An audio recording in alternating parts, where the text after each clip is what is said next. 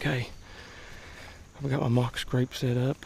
You can hear it, see it here behind me. Um, already checked my game cameras. I've got several nice bucks using this little pinch point.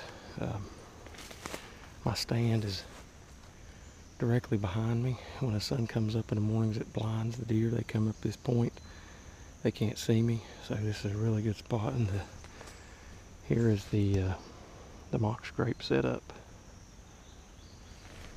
Should be pretty good. So we'll come back in a couple months and hopefully fill my tag.